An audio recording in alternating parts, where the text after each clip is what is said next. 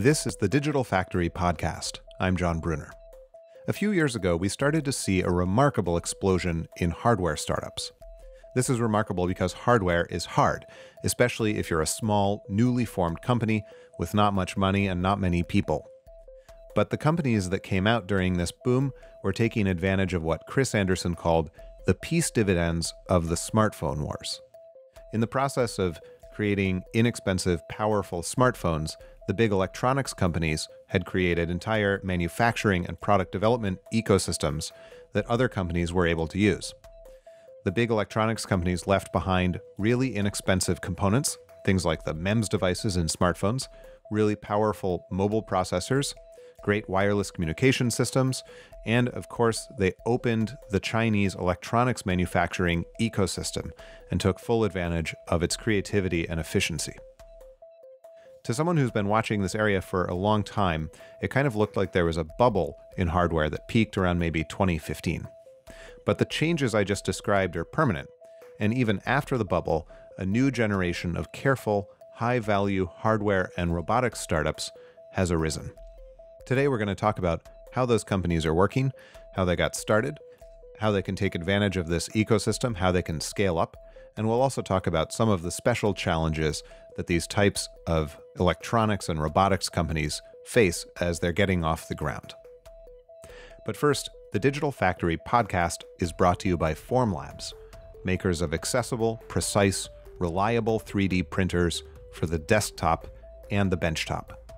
Learn more about how the Form 2 SLA printer and the Fuse 1 SLS printer can transform your prototyping and production workflows by visiting formlabs.com. My guest today is Eric Klein. Eric is a partner at Lemnos Labs, which is a venture fund that specializes in hardware. Eric, great to have you on. Hello. Thank you very much. So, you have this terrific, broad, high level view of what's going on in the world of hardware and sort of product development, and especially a sense of what startups are able to do today. So, I'd love to get into some of that. And let's let's sort of begin with a quick introduction. What what are some of the companies that you guys are working on these days?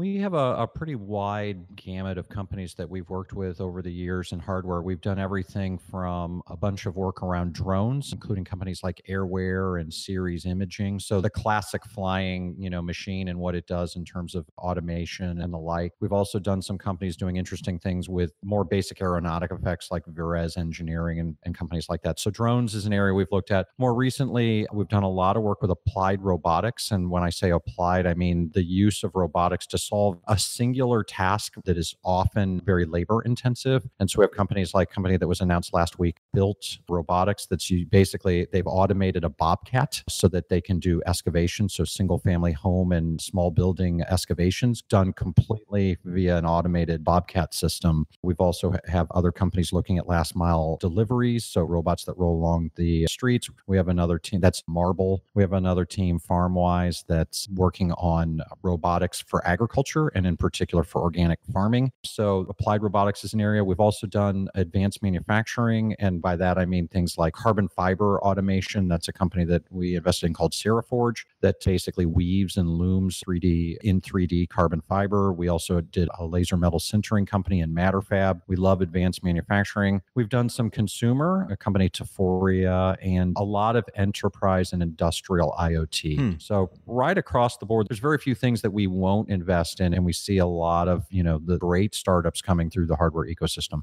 So that is a terrifically broad range of uh, companies that are in your portfolio. And in my mind i sort of informally divide them into a couple of categories as they relate to this idea of digital manufacturing. Some of these companies like matterfab and the, the efforts around carbon fabrication are actually digital fabrication technologies in themselves other of these companies are uh, not necessarily manufacturing oriented, but they take advantage of sort of the modern product development processes that are available to you know any company, whether it's a startup or a really giant company. So I wonder if we could sort of take these separately, you know, and widely speaking, uh, if you could sort of talk about what's available to these startups today that wasn't available a few years ago that they can use in developing these really sophisticated products. Yeah, I couldn't agree with you more. As an example, Seriforge, uh, when you talk about it, you know, at manufacturing, they are automating and moving the art forward tremendously on creating complex carbon fiber preforms at the same time, they have to build out their own ability to manufacture parts. And so they have to build complex machines and factories to, you know, build their own machines, which then put out parts. I think it's a really neat thing that's happening. I see a lot of the exact same thing in happening in, in applied robotics. The thing that when people look at our portfolio, they're like, I don't understand how these things fit together. How do you get these companies to work together? Underneath it you see so many common technologies around you know computer vision systems right? Opencv linear actuation right? Whether i'm you know running across a gantry to manufacture something or robotics plc there's so many things that are going on that that have facilitated these type of companies. Obviously battery technology soc sort of core technologies camera right? The camera technology. There's all these arcs of technology that have come forward the last few years. Mm-hmm. That have unlocked new technology. I think in the same way that four or five years ago we had this just renaissance of consumer electronic devices, as Chris Anderson likes to say, right? It's the benefits of the smartphone revolution. Another revolution that happened, I think, that unlocked is when we got a significant reduction in the cost of, again, electric motors, mm-hmm. um, brushless motors, a whole bunch of uh, technologies, again, around actuation and sensors really unlocked robotics, whereas a, a, system including a robotic arm, some actuation, some movement, those used to be hundreds of thousands of dollars. And now we can build those robots for, you know, 20, 30, 50, $60,000. Hmm it changes the economics of the underlying businesses that they can put robots in. So, if you look at the embedded processing that you mentioned a second ago, it's clear that that comes from the mobile phone supply chain.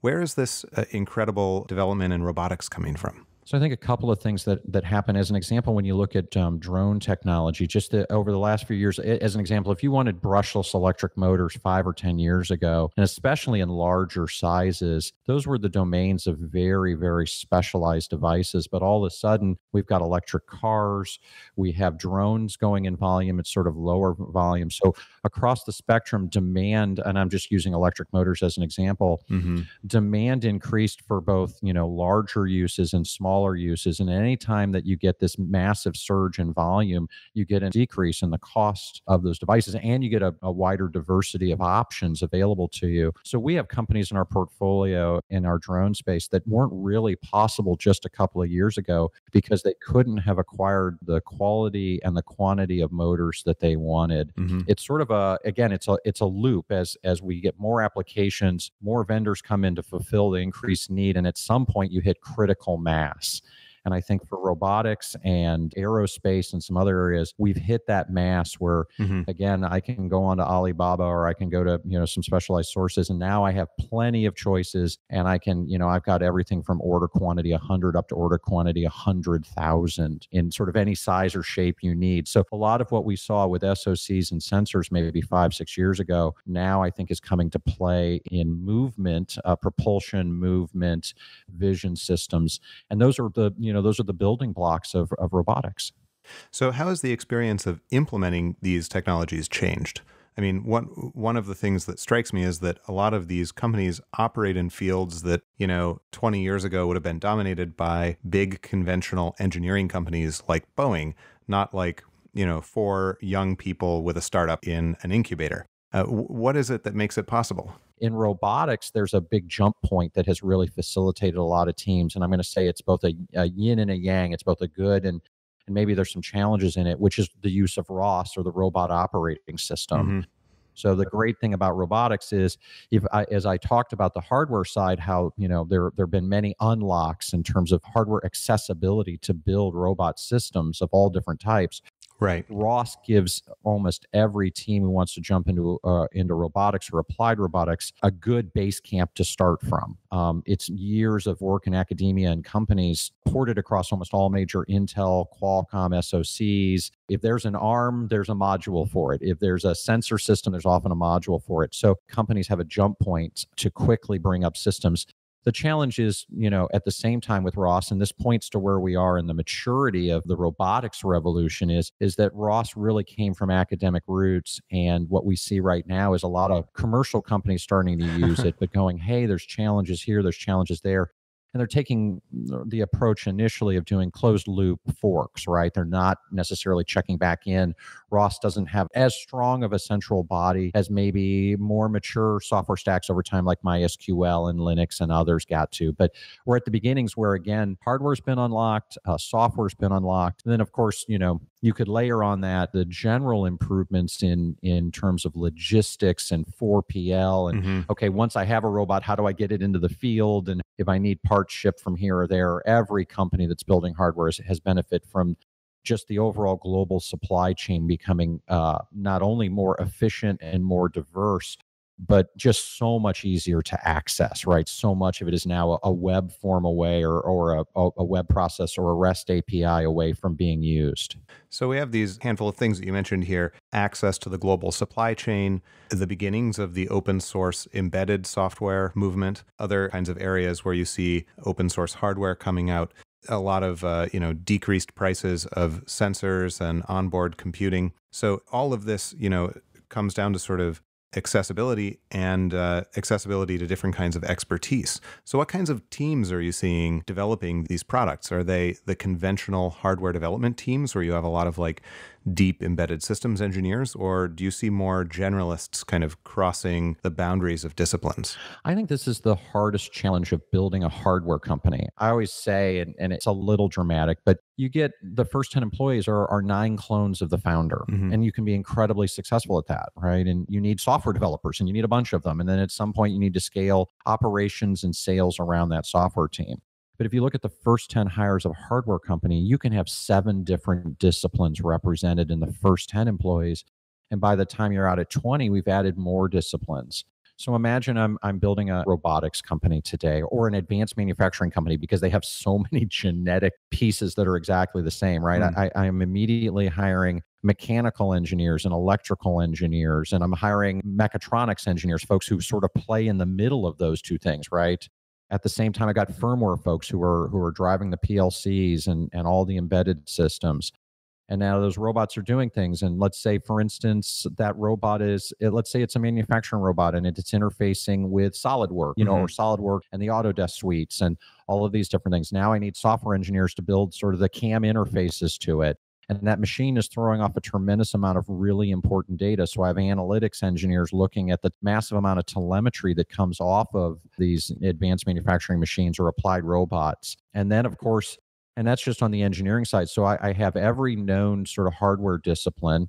The minute I want to build more than one of them, I've got to bring up a, a hardware operations team. And in the case of, let's say, I'm building a new manufacturing machine or I'm building a new applied robot, it's not necessarily like I can go to Foxconn and say, hey, Foxconn, I need you to build thousands and thousands of these robots, uh, of which there have never been one before, right? So even necessarily approaching a traditional, you know, consumer electronics CM, you might not be able to do that. You may need to build your manufacturing capability in house for a while and potentially for a long while. You may end up looking like intuitive surgical, right? Where you build your own robots. And so now, in addition to all that hardware expertise I built, all that software and firmware expertise, all that backend you know expertise I built in terms of server infrastructure and data analytics, I built out a full operations team and I built a full logistics team. And then, by the way, I have to sell it. Mm-hmm. So I need to build out a sales organization that's appropriate to the type of customer I'm selling to. Mm-hmm. That could be government and, and educational, which is one type of sales. It could be to large enterprises. That's another one. It could be that my robot goes into every restaurant in America in the back end, right? It, it, it does something amazing. And if it does that, then I've got to figure out how to sell to, you know, thousands and thousands of businesses. Sorry, a long-winded way of saying I always think that, that, that the biggest challenge of starting a hardware company is that you're building a complex systems company that you have to hire so many diverse people to get to market. And that may be the biggest challenge. It's not technology, it's not necessarily capital, dollars. It's the people and the diversity of people that you need to bring together as a team to execute these complex systems. Right. So the barriers are coming down. It's easier than ever to do this. In fact, it's sometimes possible for a single individual or two people to come up with the very first prototype of something. But then actually bringing a product to market is still enormously complex and requires a lot of different kinds of expertise. You nailed it. That is the paradox of hardware, which is it's never been easier to make hardware. It hasn't gotten a lot easier to actually go to scale and sell it right and to, to bring the product to market at scale that that is the challenge of hardware right it brings to mind a discussion that you and I have had um, a few times. Eric and I run into each other uh, periodically in sort of the hardware scene, and we often uh, wind up talking about how the maker movement relates to this hardware and electronics renaissance that we've seen in the last few years. And and in some ways, you know, they share similar roots, but it has really become clear that these are two completely separate communities with completely separate sets of instincts. Yeah, I think it's it's re- and you and I have talked about this. I think it's really easy to use this word maker and try to smear it across the entirety of of the hardware renaissance. And I think the challenge in it is is that inside the hardware renaissance, we have sort of multiple springs of innovation or multiple revolutions going on, right? Inside of STEM, there's so many great things where we're teaching an entire generation to, to take things apart and put things together and, and to be comfortable with the physical world as much as they are with the digital world. And then we have this whole great movement, which I think uh, sometimes encompasses the word maker more than any other, which is this ability because it, the accessibility of the entire hardware development chain has has become so much easier that accessibility is there that we're seeing this just wealth of new I'm going to call them simpler or consumer products, singular products that that are wonderful products. I love buying them. And then at the at the top end, that same revolution has opened up massive opportunities for large complex systems to be built at the edge of technology where the technology wasn't even available to us 5 years ago mm-hmm. but those complex systems require that diversity of hiring and that larger capital pool that maybe means that if they do fit into the word make, they're at the very, very high end, but it's almost its own special area. And each of them are worthy of attention and innovation. I struggle to put them under the same, under one moniker, under one word, because they, they really are very different. They feed each other, they have touch points, but I, I don't I don't know that it's necessarily a continuum. It's it's much more very discrete step function. Right, right. Seems like you know they they enjoy uh, the benefits of some of the same trends: the the decreasing cost of components, the accessibility of tools, the introduction of uh, new systems for prototyping, like you know 3D printing and desktop CNC and uh, digital design software. But uh, it's really a, a separate set of people and a separate set of projects, and I think that's something that the 3D printing industry certainly discovered uh, when there was a great deal of hype around 3D printing for consumers about five years ago. And, you know, it, it wasn't borne out. And now the industry has to sort of reestablish its credibility with professionals. There's a lot of interesting stuff going on in 3D printing and in the introduction of 3D printing to sort of traditional manufacturing processes, really sophisticated stuff. You know, the industry kind of has to keep proving itself to the professionals who think, well, this is a, a maker kind of field I agree with you. I think there's some interesting, you know, I, some of the tools. As an example, in in my shop, I have some of the same tools. Right, we're we're about ready to get a Formlabs printer, and we have traditional 3D printing here and a laser cutter and all those things. And you'll find those same things in a in a maker space, and you'll find them, you know, in the in the prototyping phase. You use the same tooling.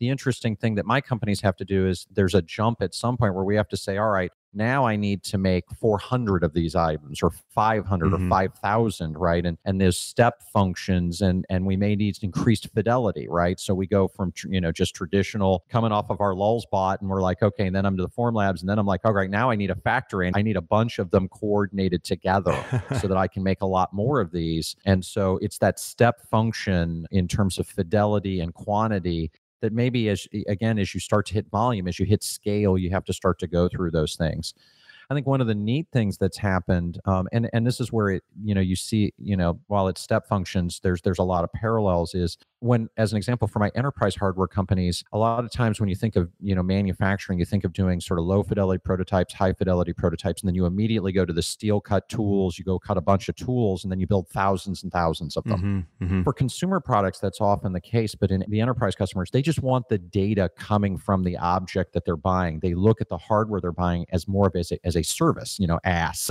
whatever, put the first letter in front of it, but as a service. Mm-hmm. And so fidelity on the hardware and the casing and all of that, mm-hmm. they're willing to accept lower fidelity and maybe higher field failure rates and stuff initially if it's fulfilling in general what they want. And then as we dial in the feature set and as the enterprise customers are happy, then we in turn increase quantity and fidelity and quality and all of those other things. So in the enterprise space, a lot of our companies use the upper end of the scale of, of prototyping platforms to get to customers and deploy in field as opposed to cutting tools and and making thousands and thousands right away. They'll in pilots with with enterprise customers they'll make high hundreds using scale with prototyping tools. And then only when we know we've got it right do we turn around and lock down the design and and and jump into more traditional manufacturing techniques. Yeah that that's something that has astonished me in the last couple of years to see uh, what had previously been thought of as prototyping tools, making it into sort of small and mid run manufacturing processes.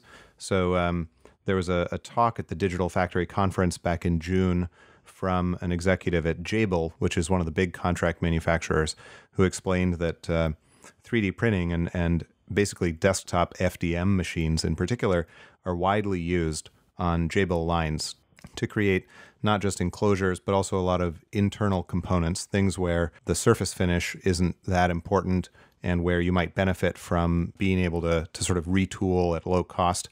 And that many products that they manufacture have some 3D printed parts in them.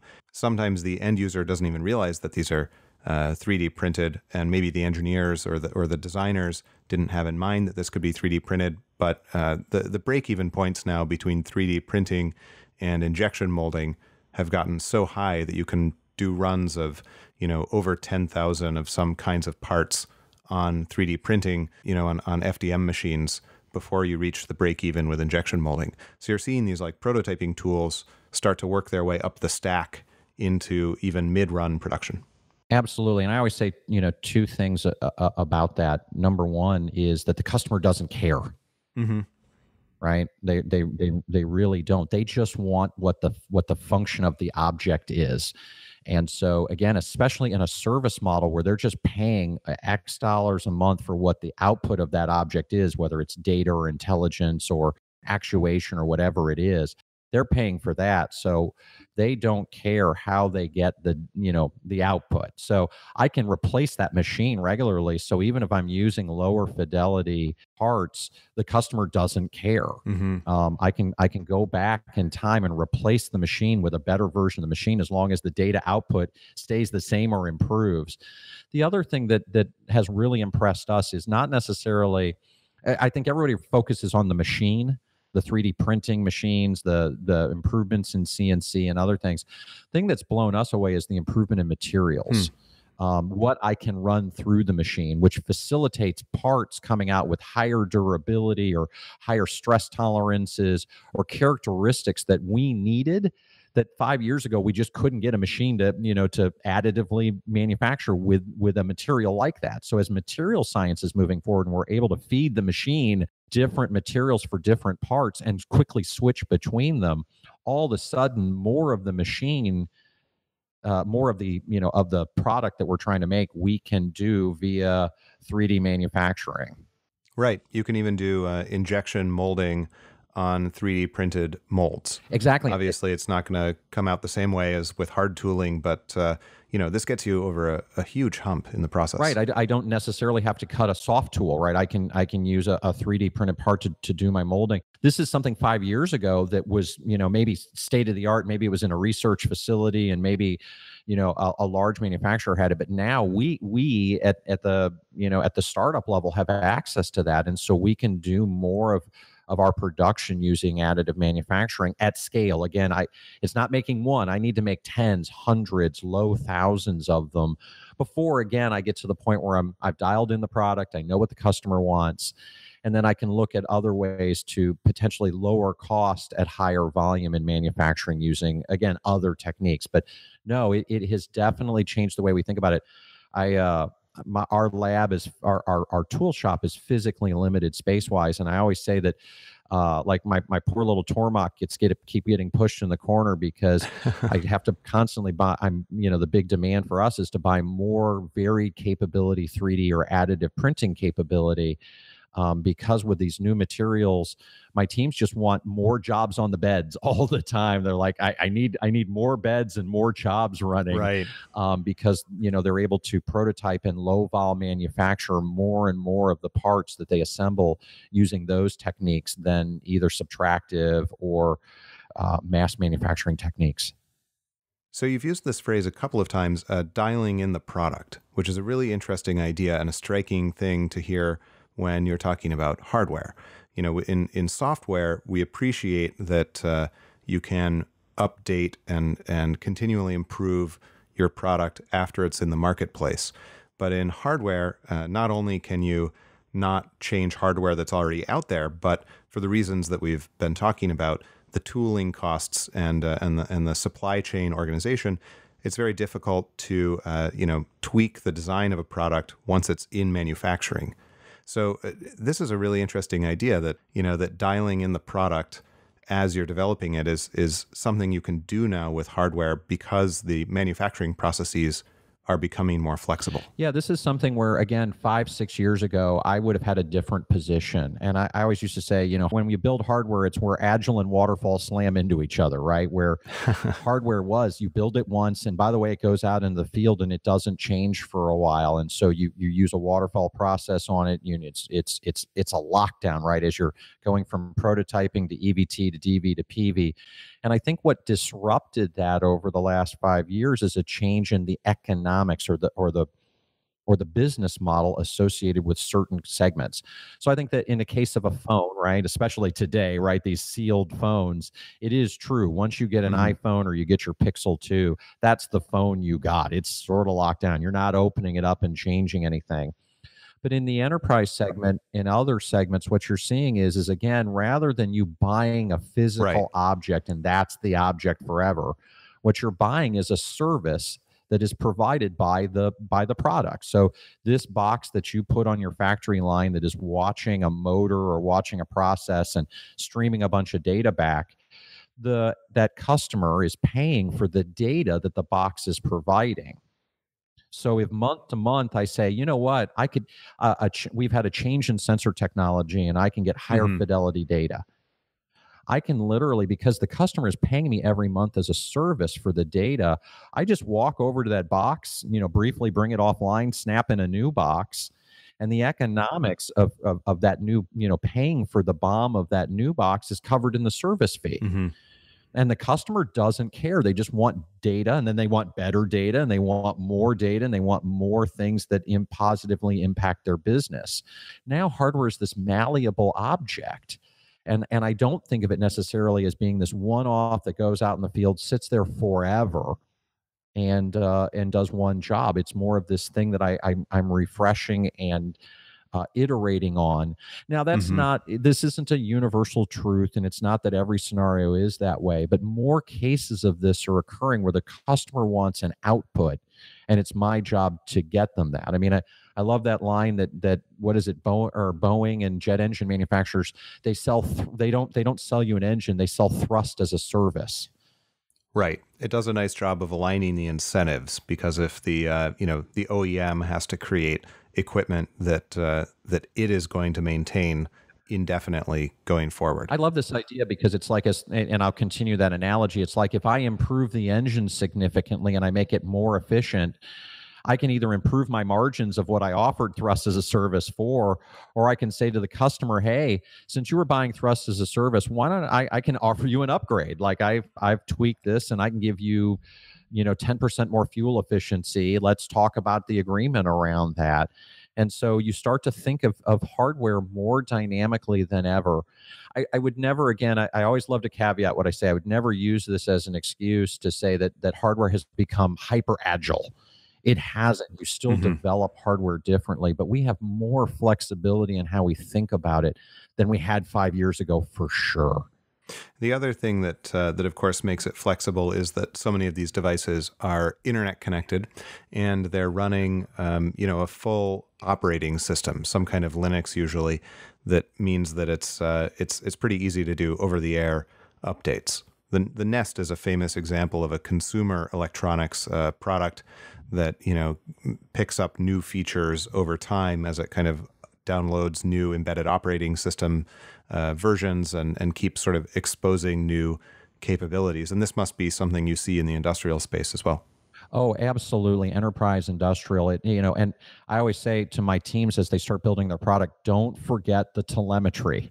It's easy to go, ah, you know, I, I don't really need all that data or anything. But early on, your system is a learning environment, right? You're pulling tremendous amounts of data, not only about you know what you're affecting or what you're instrumenting but the internals of the device itself what is it doing because in telling me what it's doing you know it's, it's thermals it the amount of compute where the compute is going you know what percentage of time i'm doing this versus that how many actuations of this are going on mm-hmm. and early on as a startup you need to do that because that's how you tune that's how you reduce the BOM, that's how you improve your efficiency of the product is just by letting the product tell you what it's doing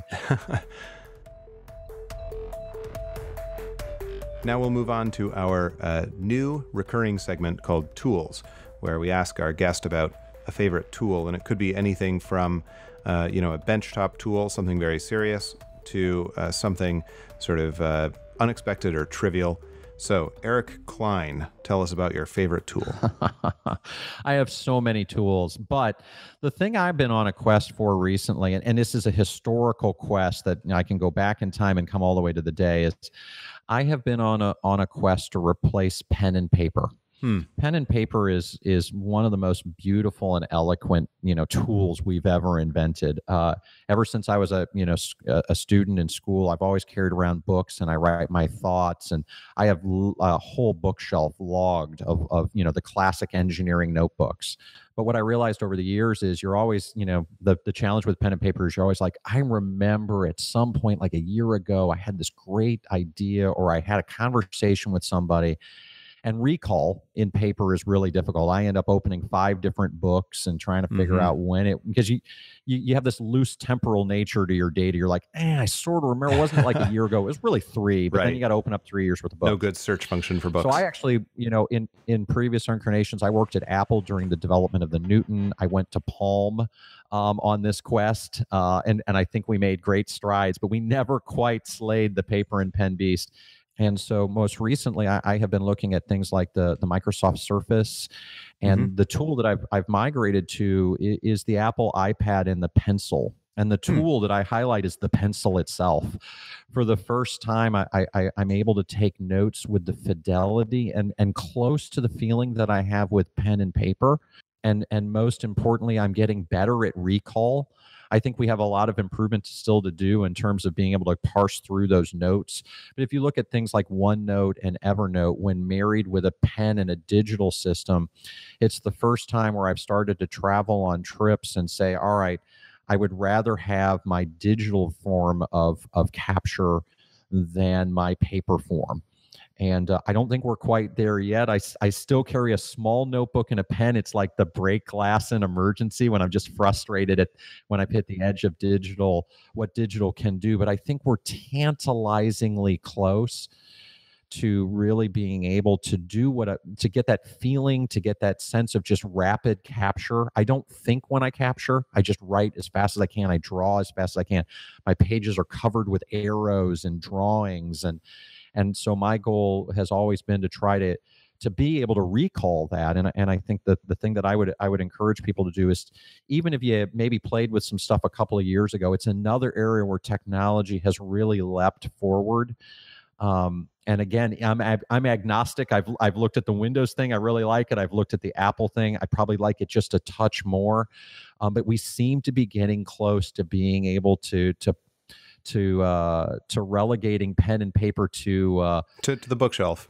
I don't know where it goes, but uh, at least in my daily life, being able to finally have true digital recall. Um, if I could just find a way to recall all the 20 years worth of books I've already made with pen and paper, my life would be complete. I am also a user of the uh, Apple Pencil with an iPad, and um, I it, it it gives you a good sense of um, how much of a difference different really tiny sort of design decisions within apps can make. You mentioned uh, Evernote and OneNote. I, I've used both of those with the pencil. They treat uh, kind of the paper that you're drawing on in slightly different ways. I've wound up preferring OneNote. Um, which which app do you use with the pencil? You know, uh, and it's it's funny. This is I agree with you. The software is still the key, and the inconsistency at a platform level. I, as an example, on on a on an iPad, if you want to import into Evernote, you end up having to you, you draw in Penultimate, mm-hmm. and then Penultimate sort of Hoover is hoovered up by Evernote. Whereas on the Windows platform, on a Surface Pen, it's direct, and it I, I like I like those things. And again, how they treat like different brushes or pen types and all of that I haven't found a lot of consistency there. So that's where again there there are times where I'm doing things and you know the concept of what page is it on and things I think they haven't gotten all that quite right yet. And that's where again you you just occasionally I'll I'll I'll be on a jag and I'll be on my my with my pencil and my iPad for a couple of days and then I just grab a good composition notebook and a and a pen and I'm just like Oh, it feels so good.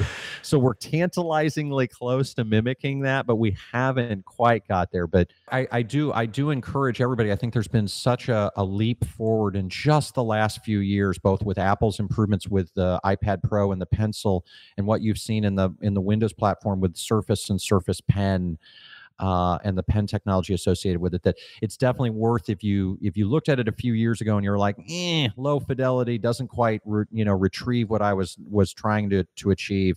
Um, go back and take a look. You'll you'll find a lot of improvement, and you may find that they've crossed the threshold for you. Eric, it's been a pleasure speaking with you today. If listeners want to find you online, where should they look? We are at uh, Lemnos, L E M N O S dot VC. And on the Twitters, I am at Sircoolio, S I R C O O L I O. That's a great Twitter handle. Was that also like your AIM uh, username? Yeah, I um by way of backstory, many years ago, I helped start a little game company called Bungie, um, which went on to make the Halo universe. And so, uh, yes, that that is my that's the, my very old game handle, and that has never left me. Excellent, Eric. Thank you so much for talking today. Thank you. The Digital Factory podcast is presented by Formlabs. The Form 2 is Formlabs' best selling desktop stereolithography 3D printer. It enables anyone to create intricate designs and functional prototypes in a wide variety of materials right from their desk. The new Fuse 1 is a benchtop selective laser sintering 3D printer that makes robust parts out of nylon with efficient part packing and total geometric freedom. Learn about both the Form 2 and the Fuse 1 at formlabs.com. With the Digital Factory, I'm Jon Bruner.